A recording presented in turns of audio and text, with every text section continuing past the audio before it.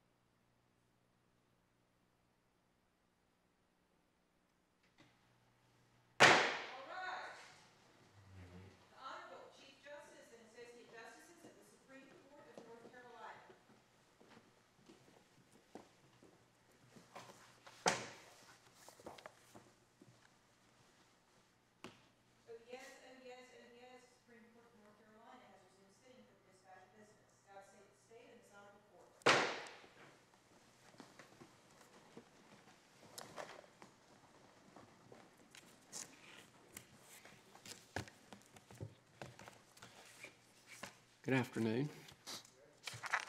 Um, I need to note in our final case of the day, Connette versus the Mecklenburg, Charlotte Mecklenburg Hospital Authority, uh, at all, that Justices Ervin and Berger are recused. Uh, That being said, we will hear from the appellant.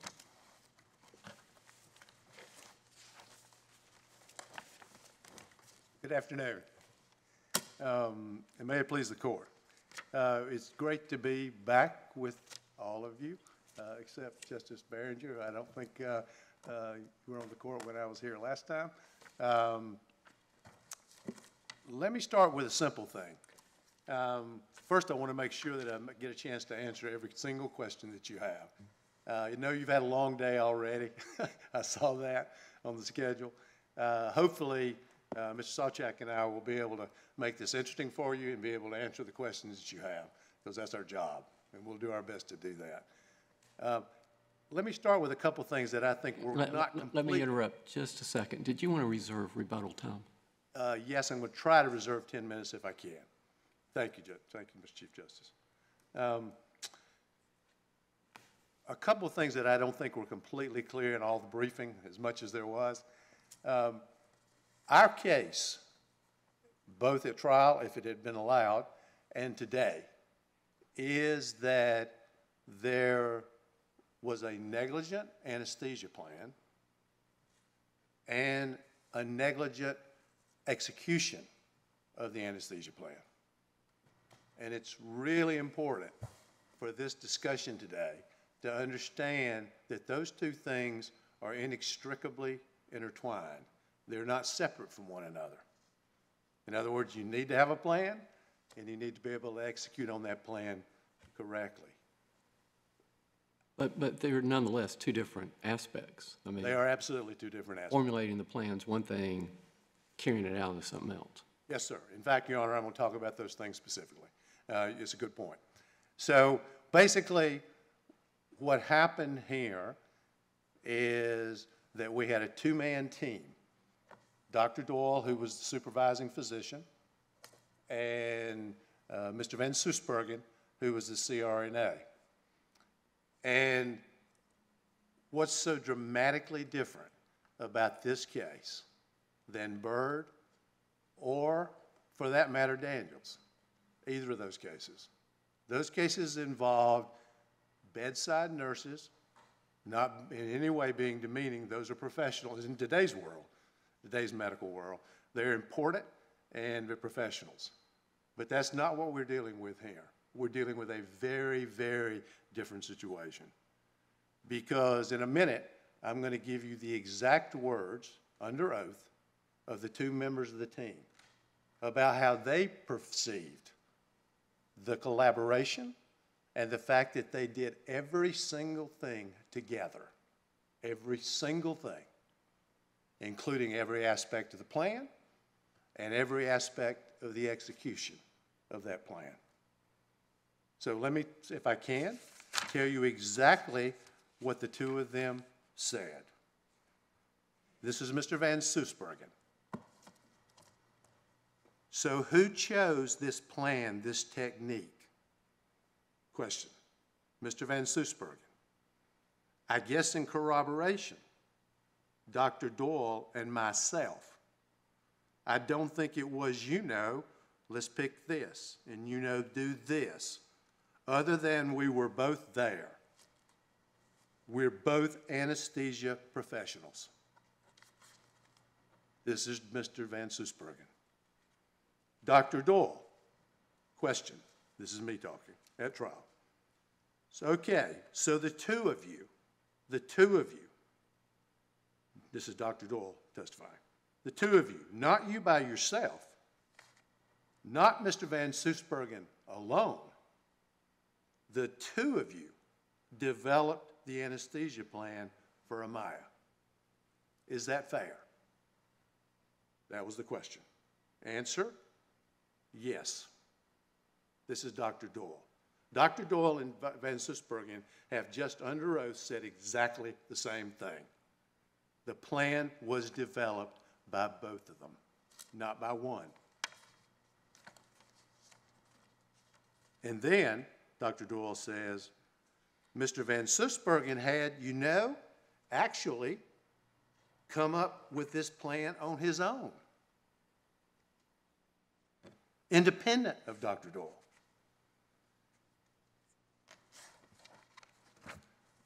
But this is, you know, you know, he was, you know, of course, planning the same thing I was planning.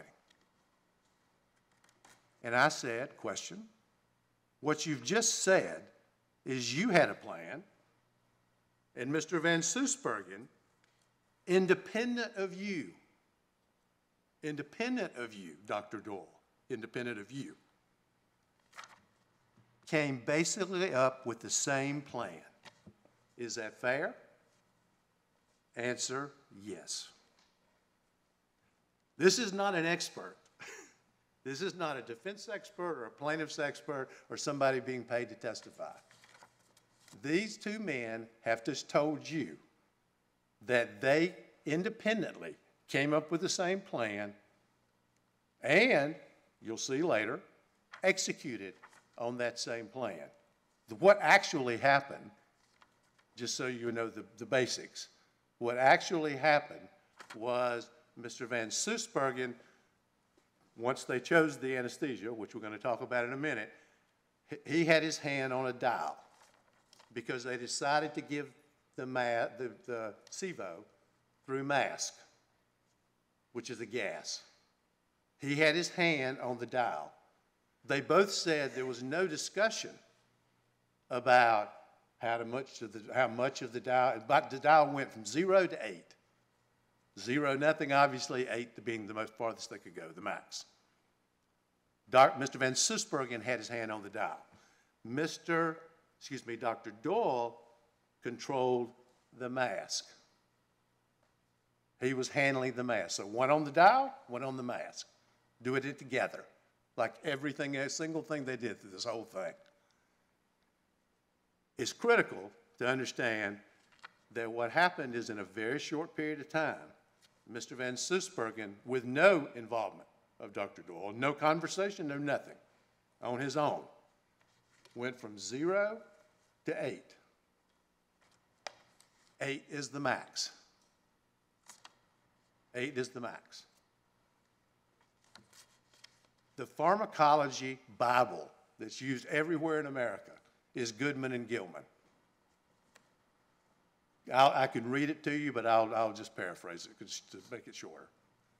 What Goodman and Gilman says is that the gas that they gave to Amaya has a dose-dependent reduction in cardiac output. Now, follow me on this. In other words, it's gonna, you're gonna, whatever the cardiac output, output is for that particular patient. And in Maya's case, it was dangerously low, 15 to 20 percent. Yours, I hope, is somewhere between 60 and 65. I know that mine is because it was checked recently. She was 15 to 20 percent. What they gave her was going to reduce her cardiac output. And how much it reduced it was dependent on the dose. How much did they give? The more they gave, the more loss of cardiac output. So what actually happened, and that, that's, that's what they gave, the sevo. What Goodman and Gilman, the pharmacology textbook, also says is that IV, like you can give it by mask, you can give it by IV, the anesthesia. And by the way, if you look at the records, the only thing the records say is that she was supposed to be under general anesthesia. No specific drug, no discussion, no nothing. All it says is general anesthesia. Gus, Mr. Van Sussbergen, and Dr. Doyle agreed together that she would get sevo.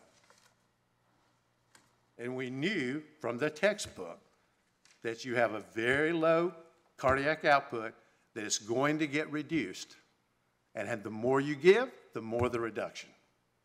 So they give her the sevo. So what's happening in real time, if you're there, by the way, it's like a, this place is, you should see the pictures. It's like a spaceship. I mean, it's the most high-tech thing you could ever imagine. Because the kind of ablation procedure they're having to give, they have to actually map the electrical signals in the heart. And then they, what they do is once they determine where the app, where the, the, the signals that are off are present, they cut them. electric, electrically. So it's a very sophisticated procedure.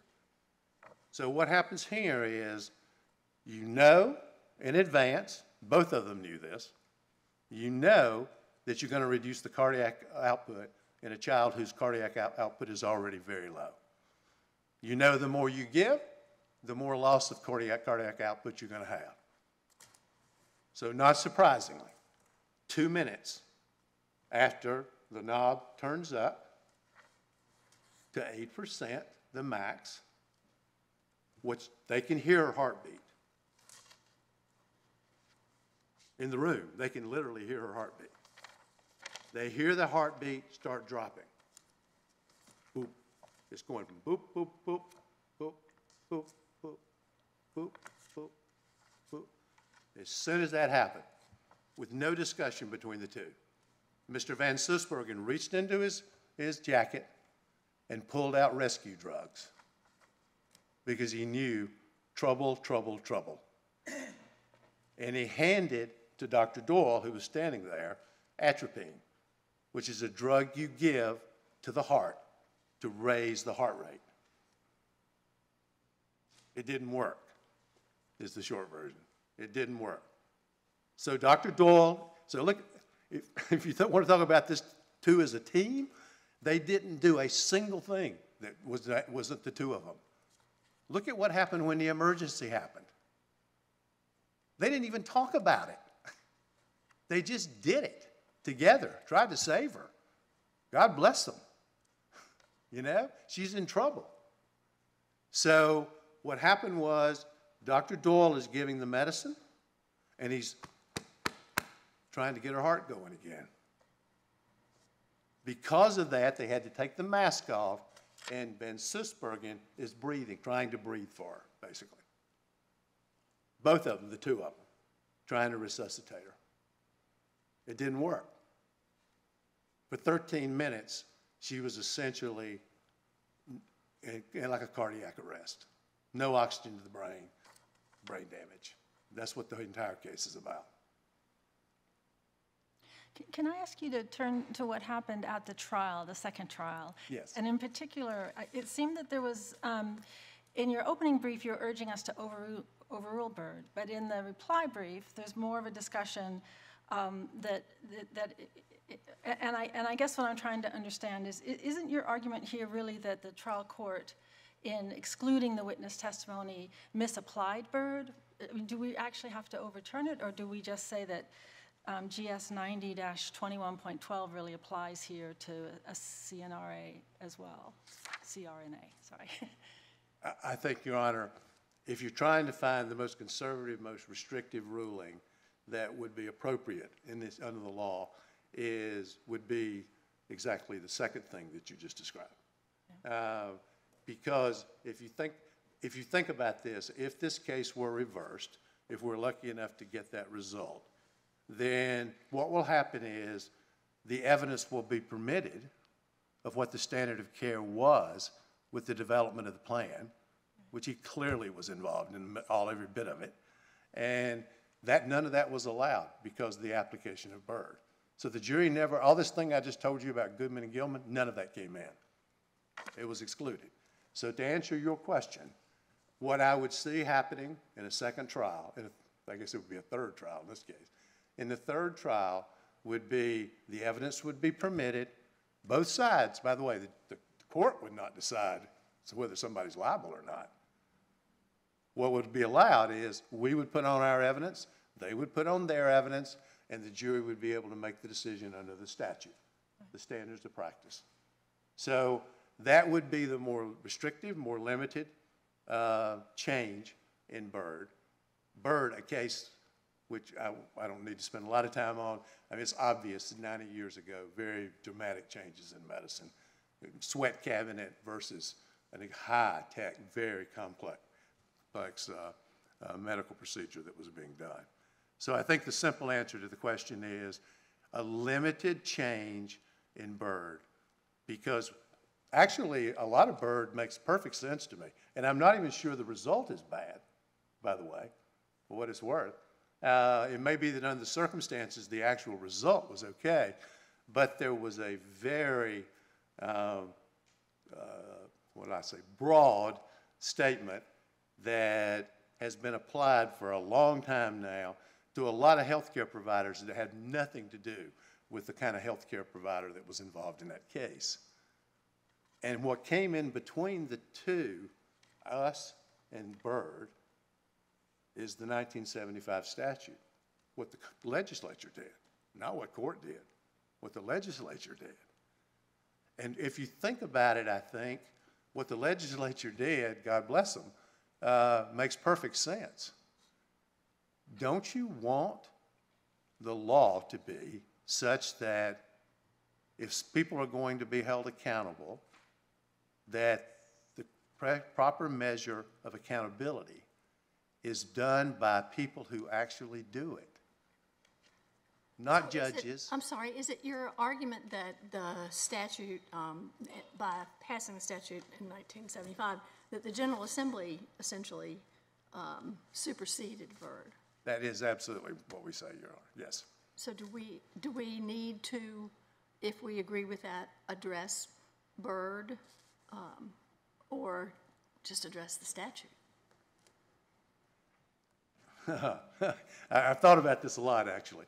Um, I think to do it correctly, there would have to be some, uh, at least, because this is the first time the Supreme Court has dealt with Byrd directly since 90 years ago. And what's happened in between is not just changes in medicine, it's the 1975 statute. So I think the appropriate thing to do under those circumstances is to put some limitations on the application of Byrd and make it absolutely clear that the 1975 statute passed by the legislature should control, i.e., we're going to allow experts who do this all the time at the appropriate time with the same training and experience are going, that evidence will be presented. There will be factual disputes, of course, and the jury will determine what the appropriate standard is based on the evidence that's presented. A- And what would you contend is the appropriate role going forward of Byrd? Well, Byrd said, if I remember correctly, Byrd actually had the two common duties, common law duties of reasonable care and diligence and best judgment. They, the court affirmed those duties, and they've been common law duties for a long time. I, they, in the pattern jury instructions, they're still in the pattern jury instructions. We have three duties. We have the statutory duty, 1975 statute, and we have the two common law duties. And that's what should apply. I said this a moment ago, but I, I'm sure how, how well, not sure how well I said it. If we try the case again, if we try the case again, the only thing that will change is the evidence that's permitted that was not permitted in the first trial. As Judge Irvin said, who's an excellent judge, by the way, uh, as he kept saying when we talked about it, I understand, but Byrd is law, and I believe it's, it's uh, categorical. I have to follow it. You're going to have to deal with that in Raleigh. Well, I'm in Raleigh. Here we are. Court of Appeals, Judge Deitch said almost exactly the same thing. The laws change, the statute exists, et cetera, but we don't have the power to do anything about this. I think if I were trying to be conservative and, and careful uh, sculpturing uh, a ruling in this case, it would be putting some limitations on the application of Byrd and, and, uh, and applying the statute. All I want to do is uh, be able to put our evidence on the standard, of what the standard of practice was for a CRNA under these circumstances uh, at the same time. That's all, I think that's what the statute says. Can you, can can you point me to the language of the statute that you believe is controlling? The statute, the 75 statute, Yes. the sta, I can tell you, off- I don't have to read from it. I've, I've done this so much, Your Honor. Uh, What the statute says is, in order to, to show that there's a violation of the standard of care, we are required to present evidence of what the standard of practice was in the same or similar community for healthcare providers with the same or similar training at or about the same time. So it's, it's your view that if a physician uh, anesthetist says, this is our plan, that a CRNA can ignore that at any point. Can you say that one more time? I had trouble following it. So the physician says, this is our anesthesia plan. Right, The CRNA disagrees and goes in a different direction. But they have a right to do that under our statute. they do not. So their duty is to follow the plan that the doctor has presented. No, I don't, I don't agree with either one of those things. Okay, I think, I okay. think, I think what there's, you Go ahead. Your Honor. No, go ahead. All, I- all I was going to say, Your Honor, is, I think first, the first question, right, the first duty question, eh, under the statute, is what is actually the standard of practice? And Well, what no, it, it, what it it really is the statute, not the standard of practice. I mean, if a statute says nurse practitioners, in this case, nurse anesthetist, Yes. have to follow or, or, or work under the supervision and direction of an attorney, then that's what they have to do, correct? No, sir. Uh, No, what, what, we can step back from this for just a second. Uh, What, so it- it's a question of what supervising physician means. That, by the way, that's nowhere in the statute, what you just said. What the statute says is experts in that area define what the standard of practice is. This, in this case, what the CRNA was required to do was to follow a careful, uh, reasonably diligent plan that met the three duties. That didn't happen. What also happened is the, the, this case is the one we're talking about, Your Honor, not an abstract case. We're talking about this case, I hope. Uh, in this case, the two of them, the two of them developed a plan that was not safe, that did not meet the standard of care, and was, and they both agreed to it. There was no, there was no dispute. If you're asking an abstract question unrelated to this case, I'll answer it. But that's not this case, just to be clear. But why does it matter whether they agreed or not? At the end of the day, the individual responsible for the plan was the physician. No, the reason it matters is because, Your Honor, they talk to each other. They listen to each other. But if it- you look at, the, if you actually look at the evidence in this case, what Dr. Doyle said is, I'd worked with Mr. Van Sussbergen for years. I knew him well. We worked together all the time. He and other people in the baby heart team, which is what they were part of, all of us talk to each other. And I respect what they say. I listen to them. I've changed based on what they suggest. And in this case, what happened is that didn't occur. It didn't occur, that discussion never happened because both of them violated the standard of care based on our evidence, Your Honor. And that's so you, what you're asking is, does the, does the CRA still supposed to follow the standard of care? Absolutely. That's their duty. It's their legal duty, regardless of what the physician does. If And there's then the no question physician, if there's no physician involved, can the CRNA uh, uh, act as an anesthesiologist? Of course not. If the CRNA cannot act independently, why can the statute not specify that the physician is responsible for the planning of the uh, anesthesia as opposed to the CRNA? Well, I didn't write the law, but that's not what it says. The statute does not require that. Well, do you disagree that the statute talks about the limitations of what a CRNA can do? Separate from the standards of practice, 1975 statute? That's what you're asking about now? Well, ninety one seventy-one point two oh, uh, talks about that, uh, a, a nurse practitioner, uh, or a nurse has to work under the supervision of a licensed physician. That's just what you've agreed to. There- There's no question about that. So the question becomes, uh, if the CRNA cannot act independently, why should the CRNA, not for the execution, but for the planning, not execution, but planning, why can the CRNA be held responsible for the planning when it's not that person's responsibility? For a variety of reasons, Your Honor. First of all, there's no definition of what a supervising physician means. What you find from the evidence in this case, and in all these cases, is for ninety-plus percent of the time, the supervising, supervising physician is not even present when the CRNA is doing their job. They're doing their own job and they have to meet their own standard of care. That's number one. Number two, the, the delineation of privileges at this hospital said that the CRNA could choose the drugs, the, the, the anesthesia drugs, that they're responsible for being involved in the plan, that says if the CRNA tells other people in the operating room to order drugs A, B, and C, those people have to follow that order from the CRNA, not from a doctor. And it specifically says, as if it came from the doctor.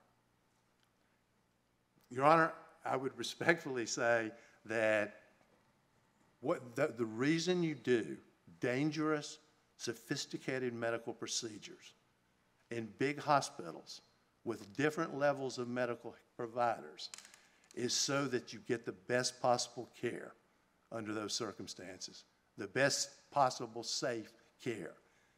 And I believe to my soul that having an anesthesiologist, we're talking about anesthesia, an anesthesiologist and a CRNA talking, consulting with each other, they understand that doc, the doctor is moving, Dr. Doyle was, from one room to another, covering four or five different surgeries. Mr. Van Sussbergen was there the whole time. Mr. Van Sussbergen. All I'm saying, Your Honor, is this is a joint responsibility. I'm not saying that Mr. Van Sussbergen has to meet the doctor's standard of care. That's not true. But he does have to meet what is a high-level, sophisticated, collaborative standard of care. That is required by the law. And he was not, that, the evidence that could have shown that he violated in this case did not occur. You're, you're, you're well re- within your rebuttal. Thank, thank you, Your Honor. Thank you for reminding me. Thank you. We'll hear from the appellee.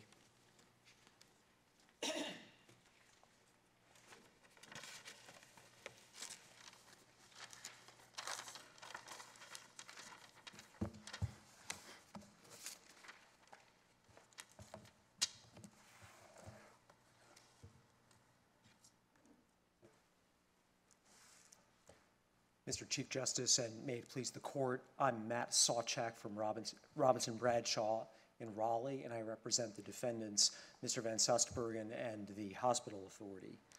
This case is here on a PDR about the exclusion of part of one expert witness in the second trial of this case.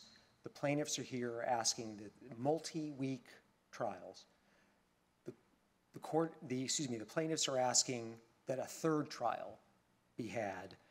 And in that vehicle, they're asking this court to change 90 years of North Carolina tort law on the duties of medical professionals, and specifically to hold nurses liable for decisions made by physicians, as the Chief Justice's questions reveal. Now, that's a proposed change that clashes with 90 years of case law from this court and from the Court of Appeals. Not just Byrd, but Blanton and the Paris and uh, Daniels decisions from the Court of Appeals, and yet others. And those define and limit the tort duties of nurses, like Mr. Van Sussbergen. Specifically, they give them only a limited duty to avoid participating in obvious negligence. And the basis for that rule is so important.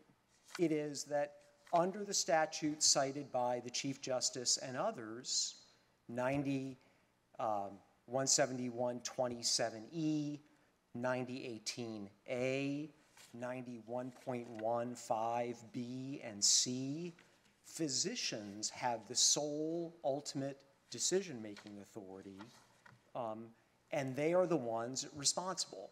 And that's exactly what happened in this case. Dr. Doyle was the ultimate decision maker in Amaya Gullatte's care. The plaintiffs have already settled with Dr. Doyle. Um, he was the professional responsible, but now the plaintiffs want to recover from Mr. Van Sussbergen as well, but that desire, understandable one as it is for a second recovery, doesn't justify creating a whole new form of tort liability for nurses. Can- Can I just um, explore that a little bit? Because um, as you were talking about the statutes that we need to look at, you didn't mention 90-21.12, which is, I think, the statute we've been talking about that sets out the um, standard of care that, or how, how it's to be defined in a medical malpractice action. And that statute doesn't exempt CRNAs. It doesn't, it says healthcare professionals. And, and so if, if this is, um, if this statute also is one that we're supposed to apply, why wouldn't this also apply to your client? For this reason, Your Honor, this court itself has held in Wall versus Stout that 90-2112 does not displace this court's teachings on the tort duties of people. And the second reason is 9021.12 is about the second element of negligence, namely breach of duty. But the Byrd line of cases is about the first element of negligence, namely the existence of a duty. The very first line of the opinion section of the Byrd opinion is what duty does a nurse owe to a patient? And that's the key for this case. This case rests on a duty limitation, but the plaintiffs are skipping ahead to the second element and talking about breach of a duty that the Byrd line of cases uh, says is non-existent or limited in a way that is fatal to the expert opinion in question. You, you you a question, Your Honor? Oh, I'm sorry. Well, well, so, so, yeah, so I am trying to understand. Are you then saying that this um, C- CRNA did not have a duty of care to this patient? He had a limited duty of care. He had a duty to perform accurately according to the physician's instructions, and that was the subject of the second trial, was whether there was negligent administration of the anesthesia. He had a duty not to act spontaneously on his own accord. Um, he had a duty to not deviate from the physician's instructions. All of these points are in Byrd. But, but didn't he also have a duty to, to um, abide by the standard of care uh, that was in um, the, the same or similar communities under the same and similar circumstances? I mean, doesn't he also have to abide by that requirement? The Byrd line of cases would say this is not a subject for definition by expert testimony, but it is a subject for definition by legislative health care policy, namely the statutes that define the respective roles of physicians and nurses. The Chief Justice cited Section 90, um, uh, 17127E, and that makes clear that the duties of a nurse are primarily to act as an aid to um, physicians. And that's the problem with the expert testimony in question that I think, obviously, um, my colleagues want to make expert testimony the focus and they want to use 902112 as their vehicle. But as I've said, 902112 is speaking to the wrong element. There is a duty limitation, and it's, it's coming from these considerations of, you know, partly respect for the legislative separation of role between physicians and nurses. So is it your position that a nurse or a CRNA, in this case, does not have, um, is, isn't answerable for um, meeting the standard of care for its own profession? This court, I would say to your question, Justice Hudson, that this court has fixed the standard of care in a way that supersedes the statute. That again, we're talking about the duty element, and Byrd has specified, the Byrd line of cases has specified the duty out of respect for the statutory distinction between um, doctors and nurses. So what effect, if any, then, did the statute have on the Byrd line of cases, as you call them?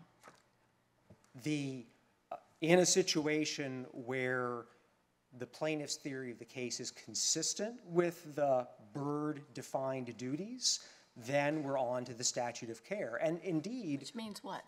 Well, for example, at the trial of this case, Mr. uh, Van Sussbergen was tried on whether he negligently administered the sevoflurane. There was extensive expert testimony in the vehicle of 902112 because that was a duty that was permissible under the Byrd line of cases. So why wouldn't it be an evidentiary matter as to what is um, within, what are the duties of these categories that are defined, that are set forth in the statute? because this court um, and the Court of Appeals have defined the duty. Duty is primarily a question of law for the court and not a matter for expert definition. This court's uh, 1955 decision in Pinnix says that. The Court of Appeals decision in Mozingo says that. That's also said in the restatement, that duty is a um, first line definition of tort liability, and it's usually defined by external factors, such as here, the statutes that say what a nurse must do, can do, and the like.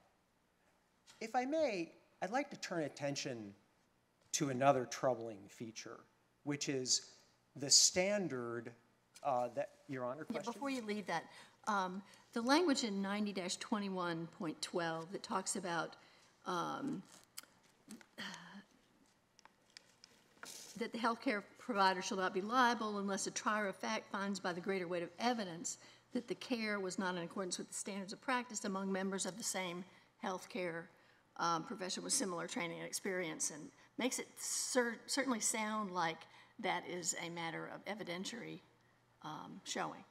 That's right, but we get to 902112 on the second element of negligence, whether there's been a breach of the duty of care.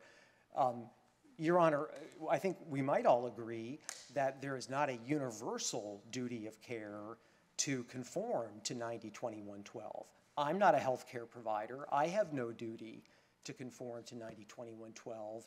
That tells us logically that we've got to get into 902112 before we apply 902112. This case never got that far as to selection of anesthesia. Because remember, that's what we're talking about here. Mr. Van Sussbergen has already been tried and has had a defense verdict, a defense verdict on negligent administration of anesthesia. He had that duty. He went to trial on that and won. What plaintiffs want to do is to give him a duty that he does not have, namely a duty to choose the anesthesia in contravention of what Dr. Doyle, the responsible physician, wanted to do. That was not his duty. This court has decided in Byrd and the like. And the plaintiffs, of course, Well, if there is evidence that um, members of the profession um, have that duty in a similar or same type of role in other hospitals or in, in, in the locality at- involved here, why isn't that a matter that could be shown by evidence? It seems, it- are are you saying it's a matter of law? I am saying it's a matter of law, Your Honor, and this court has pointed that same point out in the Pinnix case, and there are other authorities. It's in the restatement. Um, the first, you know, we're all familiar, of course, that the first element of um, negligence recovery is the existence of a duty, and as this court has taught in, in Byrd and in, in Blanton and other decisions, that is a, a point that this court carefully defines. And in this element, where we're talking about the physician nurse relationship, it needs to be defined with reference to statutes. I mean, the General Assembly has been um, very, very deliberate in deciding when nurses operate under physician supervision. There have been many stat, Your Honor. Well, can't the, can't the parameters of the duty be explained and um, described with reference to evidence? If I the mean, I don't, I'm not sure how you would do it otherwise. Your Honor, the, uh, this court's decision in Byrd illustrates how it can be done. That the court has examined these issues of law and, you know, to some extent, healthcare policy, and has decided it protects patients for physicians to be in charge. The last thing we want to have, I hope we would, did you have a question, Your Honor? Well, no, I just was wondering what, what effect, if any, um, the passage of these statutes in 1975 and forward um, has on, on the line of cases that's 90 years old. This court's decision in Blanton, which is 12 years after 1975, would show that there is no effect. The um, obvious negligence standard, which is the standard governing this aspect of Mr. Van Sussbergen's activities, was applied by this court itself in Blanton. Also, the Court of Appeals decisions in Paris and Daniels likewise follow this court's teachings in Byrd years after the enactment of 902112. The one thing out further I'd say about 902112 is it illustrates a point of agreement between my friend and myself, which is fundamentally these are issues for the legislature. That what's being requested of you, Your Honor, is all of you, is to overrule pre existing case law on these tort duties. Um, and there needs to be, of course, a strong showing that, that that's uh, justified.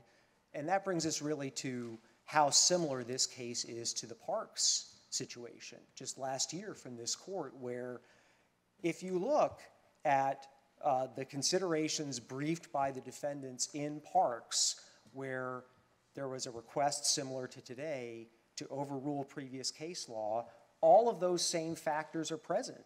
The new rule being sought by my colleagues is inconsistent with the common law, inconsistent with the statutes on the division of labor between physicians and nurses, and poses serious questions of healthcare policy and line drawing. And what is this court being asked, finally, to replace it with? That's where things become su- really troubling because the plaintiffs would base liability for nurses like Mr. Van Sussbergen on a notion of collaboration, that they can be held liable whenever they have collaborated, that's the word used, with a physician and the result is, is an adverse one. But that's the precedent you're being asked to set, is that collaboration can be a source of tort liability. That is too vague a term to become a standard, a duty for tort liability. Um, one illustration of that comes from the North Carolina Medical Society case from uh, 2005 from the Court of Appeals, 169 NC App 1. There, there was debate between the medical board and the nursing board about what collaboration means in the context of CRNAs, this very topic. They litigated, they settled, and 12 years later, they were still debating and litigating over what collaboration means. That is the test that you're being asked to inscribe into the North Carolina reports as the standard to fuel tomorrow's medical malpractice cases. And this case illustrates the problem even more.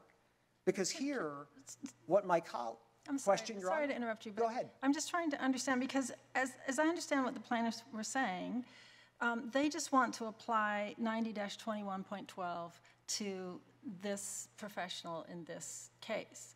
And, and so I, it- I don't, I don't understand how that is creating a new cause of action. They're just saying, our ex- experts should be allowed to testify as to what the standard of care for a healthcare professional, such as a CRNA, is, and, and whether or not, and then, you know, the question of whether or not it was met here. But th- they're not asking to uh, write any laws, they're asking us to apply this law. Your Honor, there are two problems with what they're asking for. One I've already mentioned, which is the distinction between duty and breach of duty, with 902112 being on the second of those. But secondly is, essentially, we've got a pre-existing line of case law stemming forward from Byrd that establishes limits on the duty and gives duties. And the proposition from my colleagues is that 902112 wipes all that out. This court ruled directly to the opposite effect in Wall versus Stout. The plaintiffs in that case sought a jury instruction that the only thing to be said in the instructions was the substance of 902112. This court rejected that and found it unjustified and said under no circumstances was 902112 intended to wipe out earlier case law. And in fact, as this court has instructed in Black versus Littlejohn, 902112 is a tort reform statute. It is meant to limit medical malpractice liability to respond to rising medical malpractice premiums. That's not me saying that. That's this court saying that in 1983 in Black versus Littlejohn. This is the very wording of 902112 is liability limiting. There shall be no liability for damages unless. So that's the point is one, the duty breach distinction, and two is the role and intent of the legislature in 902112. It is not an overruling of case law. It is an adaptation and really a codification, as this court said in Wall, of case law on a relatively narrow question of who is a proper expert on this breach of duty question. So, so help me if I'm misunderstanding. It seems like to me the question is, does the CRNA have some independent duty of, of um, uh, assessing a patient and, and coming up with a treatment plan? Uh, Or is the CRNA's duty uh, to uh, carry out the plan that's developed by the anesthetist? Is that a fair statement? I might phrase it just only slightly differently, Your Honor, which is regardless of what might be said by the CRNA or between him and the physician, ultimately, when the decision is made by the physician, it is binding. And that this court, I don't think, would want to enunciate a standard that would depend on the specific communication pattern and exactly what was said in what order, at least under the facts of a case like this, where there is no doubt whatsoever. Dr. Doyle was in the room the whole time. Dr. Doyle said, It was my responsibility, it was my plan. He discussed the plan with the family to use sevoflurane. Um, there's no question, he was in charge. He made the decision in question. And that is, brings us right back to Byrd.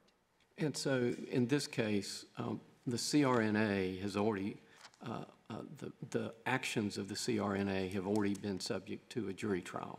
And the jury, with regard to the execution of the plan. Yes, Your Honor. Uh, Jury, jury's already found that. And the only aspect that was not submitted to the jury, or if you will, the, the evidence was excluded, had to do with the role the CRNA uh, may have had in um, coming up with this plan, as opposed to that being the primary responsibility of the anesthesiologist. That's correct. Yes, specifically that uh, the plaintiffs wanted to hold Mr. Van Sussbergen liable um, as if he were the decision maker on this plan, when by law, by statute 917120, 9018, and the others, he was not the decision maker. And that is exactly the thrust of the Byrd line of decisions is we don't want to treat in negligence law non-decision makers as if they were decision makers. We don't want to judge nurses by the duties of physicians. But don't we want to hold them accountable for the duties to which their profession expects to be held? They are indeed held liable uh, to duties, but those duties have been defined by this court. And I think that may be where, um, where the disconnect is occurring, is where the professional standards, and I think Your Honor is referring to, come in, is not on the definition of duty, which again, I emphasize, by this court's own decision in Pinnix and by other authorities, is a question of law, the first element. Where the, the expert testimony and the like come in is on the second element, breach of duty, and, and that's where 902112 might come into play. Here it did not come into play because the slice of proposed testimony from the one witness, Mr. Carey, um, was in conflict directly with this court's teachings. And So does it boil down to that the CR, the, the question is, does the CRNA have an independent duty to, in this case, the plaintiff, to um, uh, come up with a, an anest- uh, anesthesia plan? That is, is certainly one of the questions here, and the answer is no. That the physician is by statute um, in charge of the anesthesia plan. And essentially, what my colleagues are striving to do is to deconstruct the communications between Mr. Van Sussbergen and the real decision maker here, Dr. Doyle, and to get this court and later courts in the role of deciding at what point in that cloud of communications has collaboration occurred and to mete out liability based on that standard. The point I would like to share with the court today is that is an incoherent standard.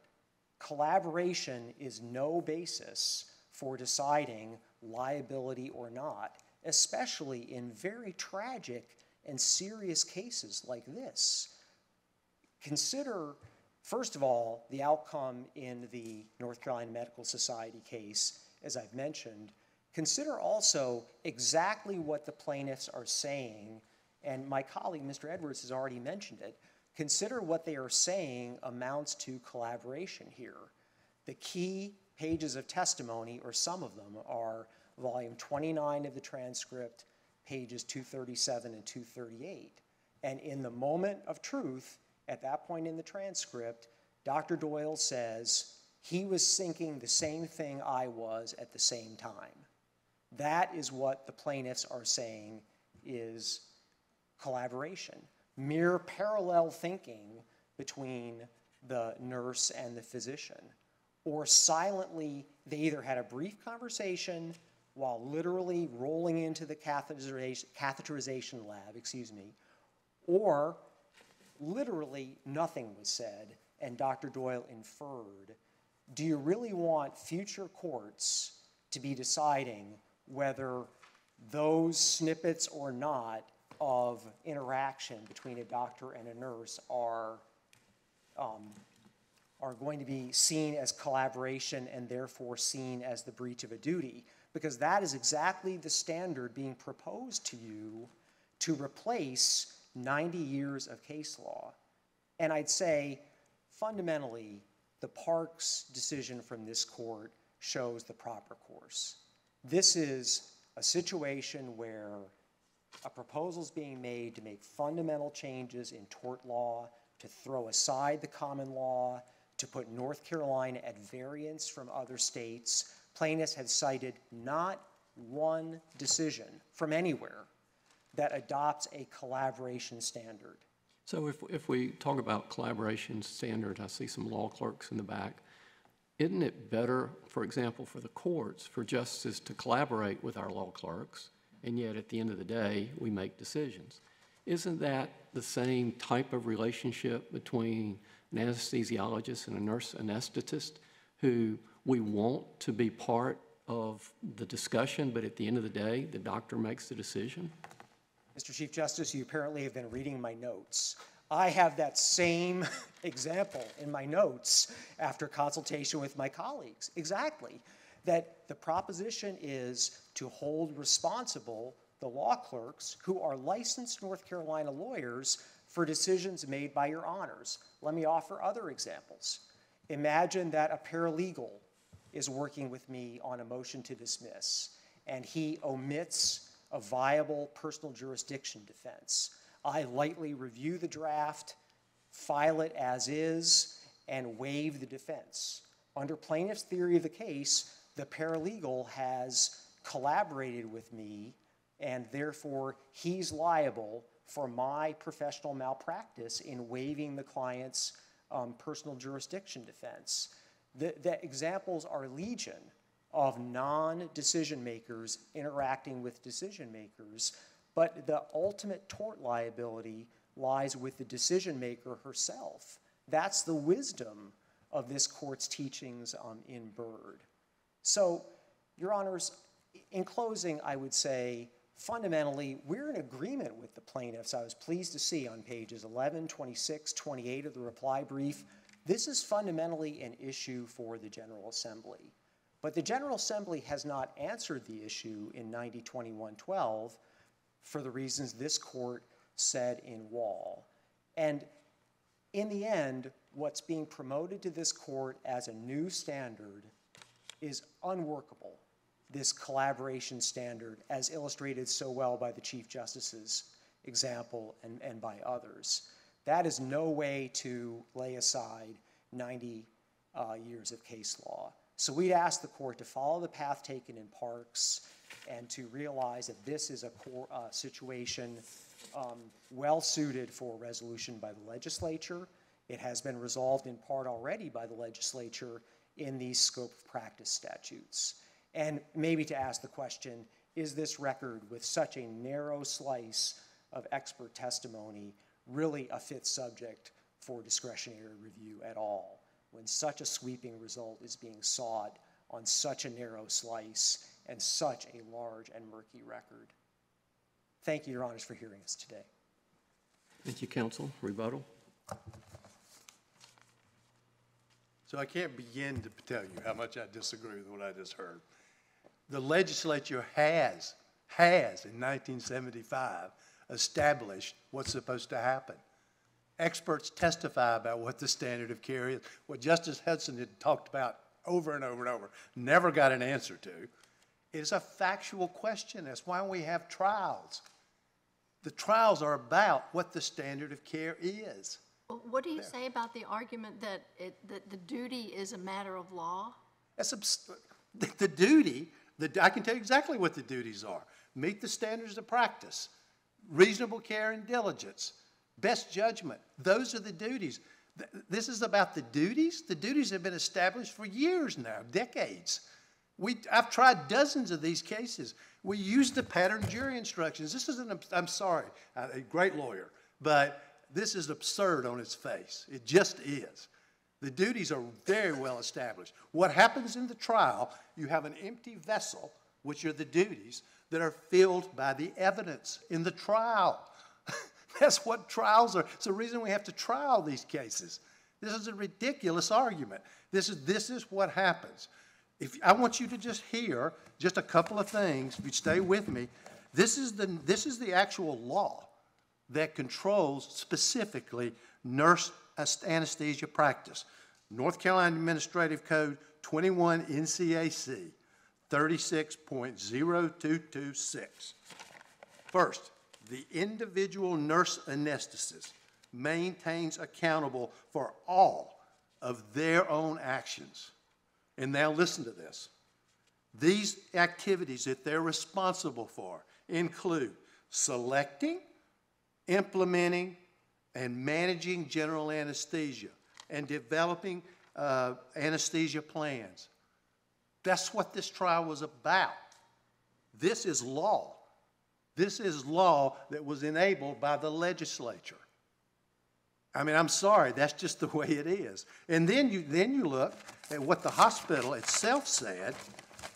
In the hospital that Doc, Mr. Van Sussbergen practiced in, their own hospital privileges say that he is responsible for and has privileges for developing and implementing an anesthesia plan, for selecting, obtaining, or administering the anesthesia drugs.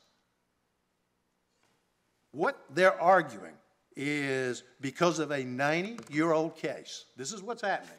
Because of a 90-year-old case, as a matter of law, you cannot pay attention to what's actually happening in cath labs in 2010. That's exactly what this argument is. That's what trials are for. Thank you, Thank you very counsel. much. Thank you, counsel. Thank you to everyone. Madam Clerk?